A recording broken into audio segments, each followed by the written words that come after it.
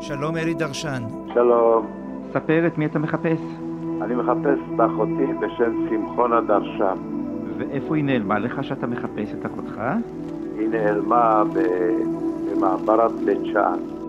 הנה, הייתה לבושה בבגד כזה, אני לא אשכח את זה, בגד כזה של אחות, באה ולקחה את התינוקת. הגעתי לרשומות רפואיות, שנות ה-50 זה לא משהו ממוחשב. שהניירת היא מאוד עלובה האלה. לא לטיפול ברשימות המתוקות ג' נפטרה. אנחנו מחפשים דודה שלי בשם שמחונה, רק גננת בבית שאן, שקראו לה סיפורה. גננת בבית שאן. אתה כבר היית ילד בן 12, וזיכרון מאוד משמעותי שאת כן. בריאה לחלוטין. בריאה לחלוטין לגמרי. לא, אבא, זה לא יכול להיות. זה לא יכול להיות, מה, מה, מה הסיכוי?